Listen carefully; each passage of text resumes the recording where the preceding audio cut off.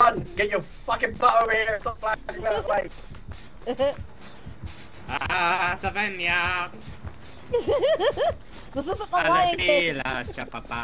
Uh, Jess, I think we raised an idiot of a son. It's 100% your genes.